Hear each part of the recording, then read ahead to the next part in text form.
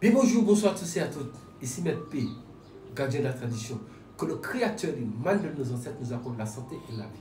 Une bonne santé doit faire une longue vie. Ici Maître P, gardien de la tradition, avocat des femmes. Bienvenue sur votre chaîne Secret pour les femmes. N'oubliez pas de partager massivement la vidéo et de vous abonner, activer la cloche de notification pour ne rater aucune de mes vidéos. Mesdames, et je salue aussi les messieurs qui sont là, bienvenue sur votre chaîne Secret pour les femmes. Prenez votre petit carnet, écrivez. Vous savez, je suis toujours là pour vous donner la tradition et sauvegarder la tradition. C'est important. Donc là, nous allons parler des ennemis. Pour neutraliser un ennemi avec trois clous. Vous allez prendre une feuille de papier blanche, feuille de papier rame. Vous allez avec un feutre, un feutre noir. Vous écrivez de, du début de la feuille en spirale comme ça. Vous faites un spirale comme ça, en tournant comme ça vous écrivez les 26 lettres de l'alphabet. Les 26 lettres de l'alphabet, vous écrivez dessus. Et quand vous avez fini, vous déposez votre feutre. Vos trois clous sont là. Bon, si vous pouvez trouver trois clous affairés, les clous qu'on fait les chevaux, c'est encore mieux.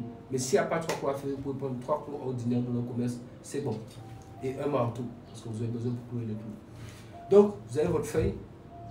Vous allez pointer les feuilles vers les quatre cardinaux en haut et en bas. Mais chaque fois, vous demandez. Moi, je ne connais pas mes ennemis. Je ne sais pas qui sont mes ennemis. Je ne les connais pas. Mais la seule chose que je sais, c'est que les ennemis qui me veulent du mal, ça va s'arrêter aujourd'hui. Je vais vous bloquer et vous ne pouvez plus avoir pouvoir et puissance pour me nuire.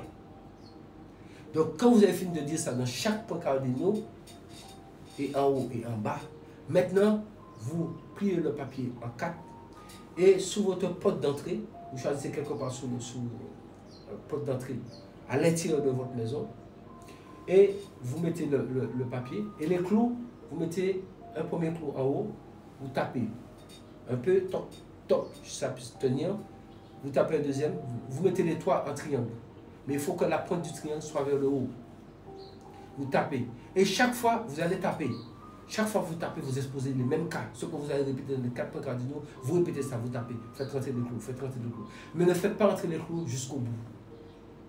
Parce que demain, si vous devriez déménager de cette maison, ça va être un peu compliqué. Donc, faites rentrer ça au moins qu'il reste 1 ou 2 cm. Ne faites pas ça rentrer trop dans le bois. Parce que des fois, c'est des maisons de location. Et après, pour vous éviter des problèmes. Vous savez, Maître vous donne toujours des choses pour vous faire toujours respecter la loi. C'est comme des gens qui n'aiment pas respecter la loi. Non, Père vous donne toujours des choses pour vous faire respecter la loi. Donc quand vous avez mis ça là, regardez combien de jours après, qu'est-ce qui se passe dans votre vie.